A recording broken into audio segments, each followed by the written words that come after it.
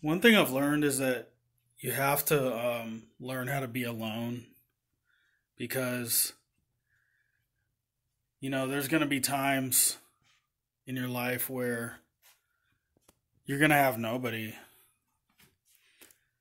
And, you know, everything's like cycles, you know, sometimes your life is just popping and you have like all these friends and all this all these people around and then it can all just disappear. And you can be totally alone and there's nobody there for you. And i've gone through this so many times. It's back and forth. It's like a cycle over and over again. Sometimes i have a lot of friends calling me and i'm just busy all the time.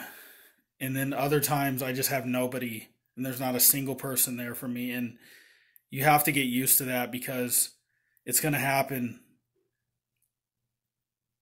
quite a bit throughout your life. There's going to be times where there's nobody there for you, and you have to be there for yourself because there's going to be nobody sometimes.